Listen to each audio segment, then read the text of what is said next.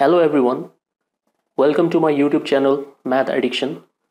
This is part 1 of Mathematics section solution of NRB Assistant Level 2 examination held on 2075 ASAD 23. So without any further delay, let's get started. Question 1. A and B together can do a piece of work in 9 days. If A does thrice the work of B in a given time, A alone can finish the work in how many days?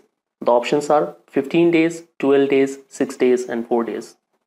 Solution As A can do thrice the work of B in a given time, so it means the ratio of efficiency of A and B will be 3 is to 1. That is, if A does 3 units of work in one day, B does only 1 unit of the work in one day. So total units of work done by A and B together in one day will be equal to 3 plus 1 that is 4. So total units of work done by A and B together in 9 days will be equal to 9 into 4 that is 36. But A does 3 units of work in one day. So in order to complete 36 units, A will take 36 divided by 3 equals to 12 days. So the right option is option B. Question 2. If 15 meters of cloth cost rupees 1260, find the cost of 25 meters of the same type of cloth. Solution As we know the length of the cloth and its cost are directly proportional, it means as the length increases, the cost will also increase and vice versa. So first, we will find the ratio of the clothes. To determine the ratio, we will divide the new length by old length. So the new length is 25 meter and the old length is 15 meter.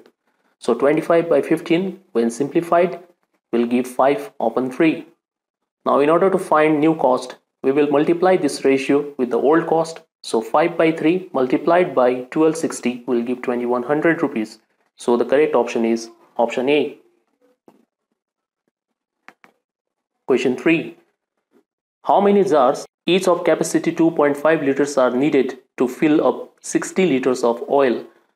Well this question doesn't need much more discussion. It's pretty easy. The capacity of each jar is 2.5 liter and we need to find the number of jars that will be required to fill up 60 liter. So number of jars will be 60 divided by 2.5 on simplification we get 24 so the right option is B. If 3 by 4 of a stick is 6 meter what will be the value equal to 5 by 8 of that stick? So in the question it has been stated that 3 by 4 is equal to 6 meter. Whatever be the length of the stick its 3 by 4 is equal to 6 so total length will be 6 into reciprocal of 3 by 4 that is 4 by 3 so total length will be 8 meter. Now 5 by 8 of 8 meter will be 5 meter. So the right option is B. Question 5 the subtraction of 2 1 by 10 from 3 2 by 5 is how much? So 2 1 by 10 is a mixed fraction. It can be written as proper fraction as 21 divided by 10. Similarly, 3 2 by 5 can be written in proper fraction as 17 divided by 5. Multiplying the numerator and denominator by 2, 17 by 5 can be written as 34 divided by 10. Why we have done so? We just tried to make the denominator same so that subtraction will be easier later. So now 3 2 by 5 minus 2 1 by 10 equals to 34 by 10 minus 21 by 10. 34 minus 21 is simply 13 by 10. So the right option is C. Question 6.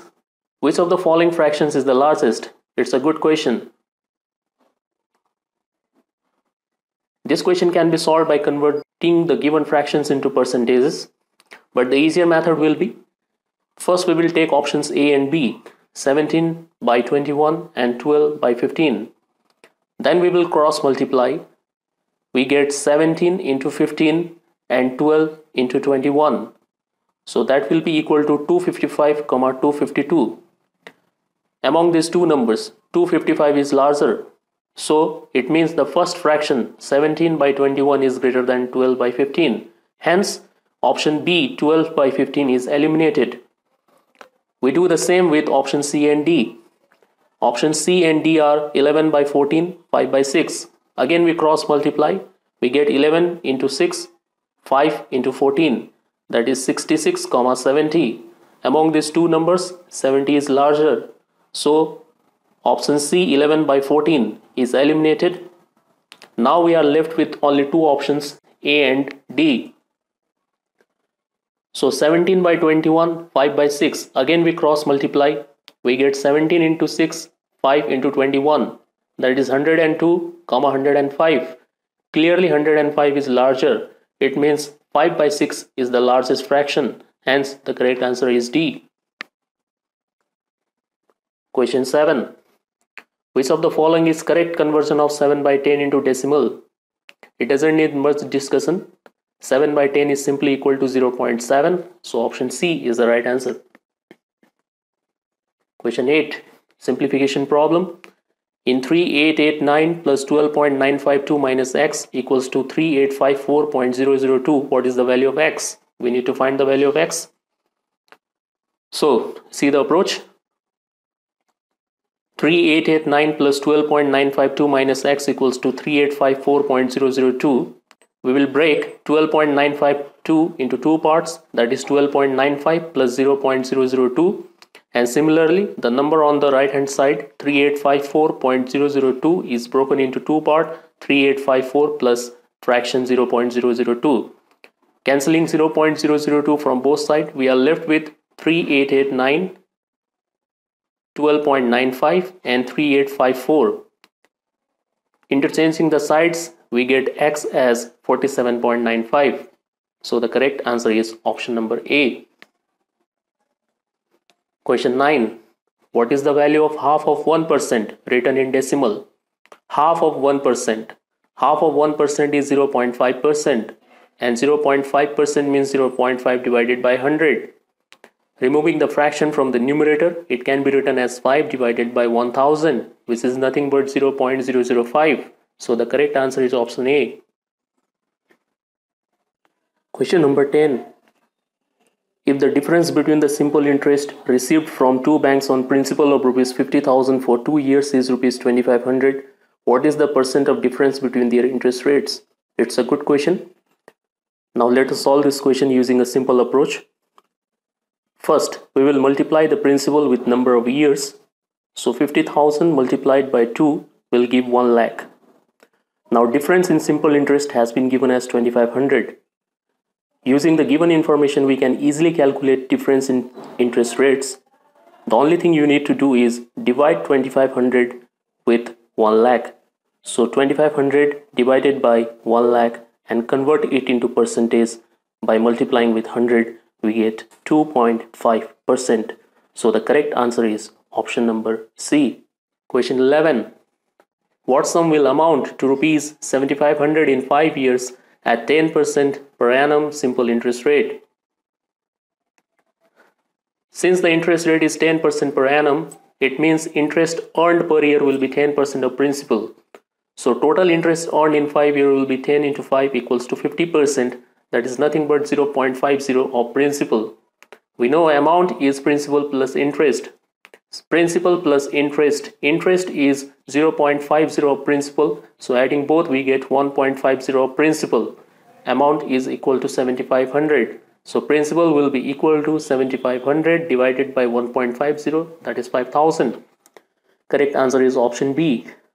Well, this question can easily be solved by checking the answer options. If you look at uh, option number B, 5000, it is the only option whose half that is 2500 when added back to 5000 will produce the required amount 7500 none of the other options will satisfy this condition. Hence the correct option is option b. Now last question of part 1 question number 12 the average age of 50 students and a teacher is 25 years. When the teacher's age is excluded the average age decreases by one year. What is the age of the teacher the question says that in the beginning, there were 50 students and a teacher whose average age was 25 years. Then the teacher's age was excluded and the average age decreases by one year. It means the new average becomes 24 years. So what is the age of the teacher? We'll see two methods.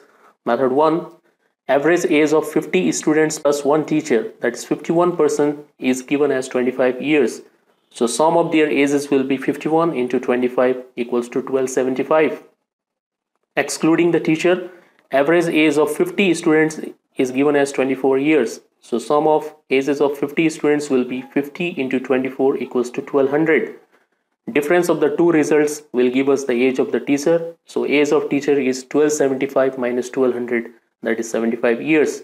Correct answer is option number d. Now whenever we are encountered with such problem when the age of one person is excluded and the average age is also decreased by one year. One person is excluded and average age is also decreased by one year. Then the shortcut way of solving this problem is will add original number of persons and their average and subtract 1 so in this case original number of persons was 51 their average was 25 51 plus 25 is 76 then subtract 1 we get 75 years. So this problem can be solved within few seconds if we know the approach. Thank you for watching the video. Please subscribe my youtube channel math addiction for more videos